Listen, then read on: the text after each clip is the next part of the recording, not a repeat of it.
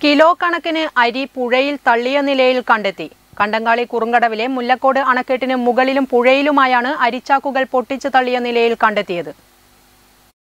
കടകൾ വഴി വിതരണം ചെയ്യുന്ന പാക്ക് ചെയ്ത അരിച്ചാക്കുകളാണ് ഉപേക്ഷിച്ച നിലയിൽ കണ്ടെത്തിയത്. കണ്ടങ്ങാളി കുറുങ്കടവും മുല്ലക്കോട് അണക്കെട്ടിന് മുകളിൽ നിന്നും താഴെ പുഴയിലേക്ക് തള്ളിയ നിലയിലാണ് അരി കാണപ്പെട്ടത്. ക്വിന്റൽ കണക്കിന് അരി ഉപേക്ഷിച്ചതായി കരുതുന്നു. വെള്ളത്തിനടിയിലായതിനാൽ യഥാർത്ഥ കണക്ക് വ്യക്തമല്ല. പ്രദേശവാസികൾ അധികൃതരെ വിവരമറിയിച്ചതിനെ തുടർന്ന് അന്വേഷണം ആരംഭിച്ചു. News bureau Payyanur.